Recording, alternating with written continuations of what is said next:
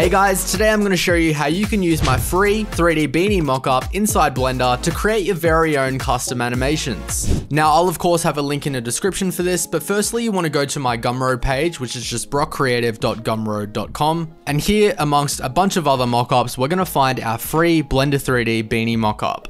So we'll click on this. Now, in order to get this mockup for free, you want to go down to this box here and just enter $0. You can, of course, enter anything you like if you want to leave a tip and support the channel, but it's not required. So we're going to enter $0 and then add to our cart. And once you've extracted the zip folder, you're to have all the files that you need here to get started. So there's actually two different Blender files here. One is for the newest version of Blender 4.1 and one is for 3.6. I would recommend you upgrade to 4.1 as it's completely free, but this 3.6 version here is going to open up in whatever Blender version that you currently have. So we're going to open up this Blender file, and here's where we're going to be greeted with our 3D mockup. So in order to view the design, in the top right of the viewport, you want to click on the rendered view, and this is going to show you our template design, which is the guidelines in which you can place your logos or images or whatever you want to use on this 3D mockup. But we don't want to see this template design, we want to see our own design. So we're going to go back into where we've unzipped our folder and we're going to open up this Photoshop design file here. We're going to see our different guidelines of where you can place your images or logos. But on the off chance that you don't have Photoshop, I've also included a design file here that you can import into Canva, Photopea, or whatever other photo editing software that you use that won't require you to have an Adobe subscription. So I already have my own design prepared here, which I'm going to copy and paste into this project. And here I can just move these into position of where they need to be.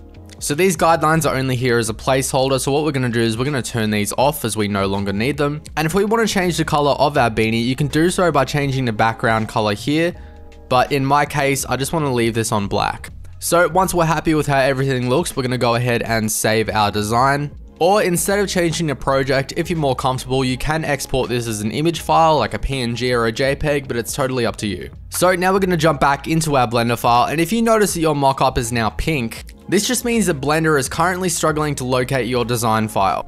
So in order to change this to our design file, we're going to click on our beanie and make sure that we're under the material properties. Under the base color here, we've got this folder icon. We want to click on that and we want to choose our design. So our design is currently saved under yourdesign.psd, so you can either double click on this or click open image, and now we're able to see our design on the 3D mockup. However, if you opened up Blender and it wasn't pink, it was just stuck on this template design, you're going to follow the same process by going under the base color and clicking the folder icon here, it just looks a little bit different. So now as you click play, you can see that your mockup is doing a 360 spin and this is a seamless loop. So once it finishes, it's to start back over again. So now we're happy with how everything looks. We want to render this out. To do so, we're first to go to our output properties. And under output, where this folder icon is, you want to choose where you want to save your design. So by default, this mockup is set to render out as a video, but if you know how to use an image sequence, you can change this to a TIFF or a PNG file as well. And this is also going to render out as a transparent video, which just basically means that it doesn't have a background. But if you don't want that, you can go into your render properties up on the top here, and where it says film, you just want to turn off that transparent checkbox. Now we can see that we have a background, but it's just plain white. What happens if you want this to be colored? Well, in order to do that, you can go to your world properties here, and where it says background color, you can now change this to green, pink, whatever you want it to be. And now we're happy with how everything looks. We've got our settings set up. We can now go into the top left, hit render and click render animation.